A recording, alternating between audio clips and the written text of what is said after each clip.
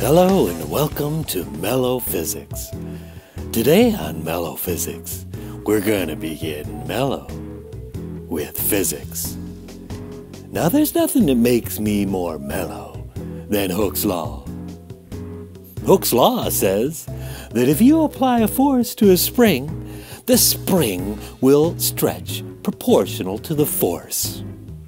Now that's mellow. In today's lab, you're going to be determining the spring constant on a spring. Now, in order to determine the spring constant, you're going to be plotting a graph of force versus elongation or stretch of the spring.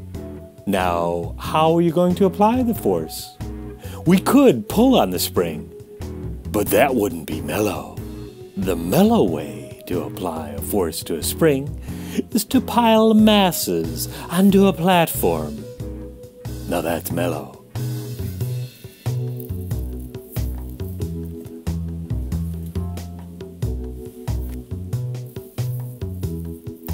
Now, of course, mass isn't force, but you can calculate the force.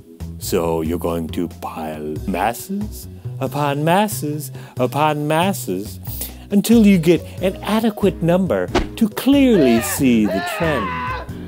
Then you're going to graph force versus elongation and then draw a line of best fit or curve of best fit that best represents your data.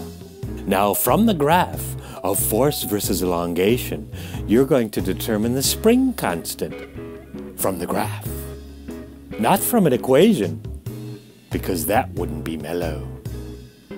Also, from the graph, you're going to determine the energy stored in the spring while the maximum force is being applied to the spring.